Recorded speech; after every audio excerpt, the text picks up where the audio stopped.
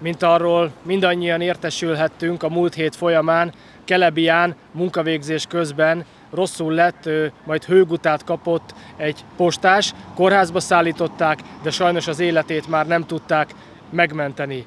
Kelebián a kérdéses napon 41 fokos hőséget mértek. A Mi Hazánk mozgalom szeretné legelőször is részvétét kifejezni az elhunyt postás családjának, barátainak, ismerőseinek. Azonban nem mehetünk el kérdések nélkül az egész eset mellett, ugyanis föl kell tennünk néhány kérdést, legfőképpen azt, hogy hogyan és mi vezethetett idáig. Tragikus egybeesés, hogy éppen a múlt hét folyamán tartottam egy sajtótájékoztatót pont erről, ahol arról beszéltem, hogy ebben az extrém hőségben fokozottabban figyelni kell a magyar dolgozók testi épségére, életére, majd az élet aláhúzta szavaim jogosságát, ugyanis másnapra ráérkezett a hír, hogy elhunyt Kelebián egy postás.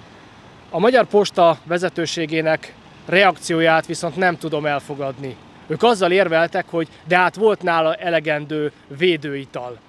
Na most nem tudom, hogy itt átgondolták-e a hátam mögött lévő épületben, hogy mondjuk egy 40 fokos hőségben egy 30 vagy akár 35 fokos idézőjeles védőital az mire elég. Mert azt nyilvánvalóan tudjuk, hogy a postások nem hűtőtáskával járnak, beleteszik a táskájukba az egy fél literes ásványvizes flakont, kerékpárt tekernek, nehéz terepviszonyok között kell nehéz táskát cipelni, tehát egész egyszerűen ez a védőital, ez így 40 fokos hőségben nem elegendő. Itt egyetlen egy megoldást lett volna, és azért kell erről beszélni még jelen pillanatban is, hogy megelőzhetőek legyenek a jövőben a hasonló tragédiák, tehát még egyszer mondom, 40 fokos hőségben a postásokat nem szabad kiengedni az utcára.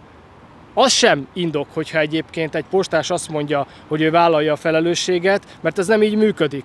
Ugyanis például nézzük meg az építőiparban, nem mondhatja ezt egy építőipari munkás, hogy én fölmegyek az állványra úgy, hogy nincsen rajtam sisak. Ez munkáltatói felelősség, úgyhogy a Mi Hazánk mozgalom azt szorgalmazza, hogy legyen egy preventív jellegű gondolkodás erről az egészről, egy új stratégia kidolgozása a posta vezetősége által, hogy a jövőben ne történhessenek meg hasonló esetek, és át kell szervezni a munkaidőkeretet az ilyen extrém forró napokon. Hogy hozzásegítsük őket ehhez, én hoztam egy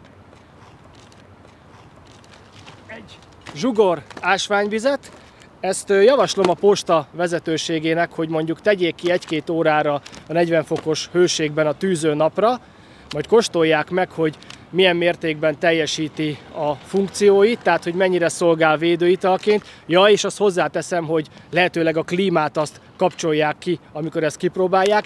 Ez sem lesz még olyan, mint amikor egy postás az utcán hajtja a kerékpárját és leveleket kézbe sír, de legalább megközelíti és át tudják érezni, hogy milyen nehéz. És egy, még egy záró gondolatként, hogy nem a levegőbe beszélek, én korábban is elmondtam, hogy voltam postás, tehát pontosan tudom, hogy milyen 35-40 fokos hőmérsékletben leveleket kézbesíteni, úgyhogy most ezt a pár ásványvizet megkísérlem átadni nekik, és ellátom őket ezzel az instrukciókkal, hogy hogyan fogyasszák. Köszönöm a figyelmet, és akkor ezt most bevisszük. Jó napot kívánok! Jó napot! Hoztam egy pár, Lantos János vagyok, Mi Hazánk mozgalomtól, hoztam egy pár ásványvizet a Magyar Posta vezetőségének a részére. Szeretném itt hagyni, hogyha ez lehetséges. Oda leteszem, annyi instrukciót esetleg át tud adni nekik, hogy hogyan fogyasszák, ugye nyilván ennek a átadásnak egy szimbolikus jelentősége van ugye a kelebiai tragédia kapcsán, hogy a posta azt mondta, hogy volt nála védőital, most, hogyha ezt kiteszik egy-két órára a napra, 40 fokban ez fölmelegszik akár 30 fokra, nyilvánvalóan ez nem fogja ellátni a funkcióját, tehát hogyha van rá mód, akkor ezekkel az instrukciókkal adnám át.